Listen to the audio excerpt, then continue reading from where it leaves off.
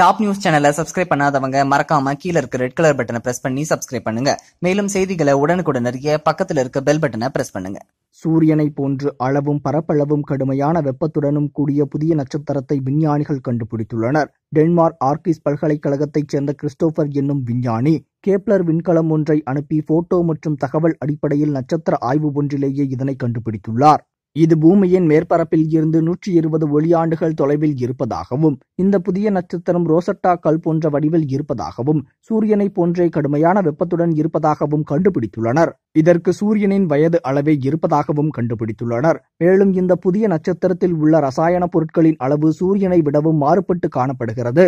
சூரியனில் ஹைட்ரஜன் மற்றும் ஹீலியன் போன்ற ரசாயன பொருட்கள் அதிகளவில் உள்ளன. ஆனால் புதிதாக கண்டுபிடிக்கப்பட்டுள்ள நட்சத்திரத்தில் இவை இரண்டு மடங்கு அதிகமாக இருக்கிறது.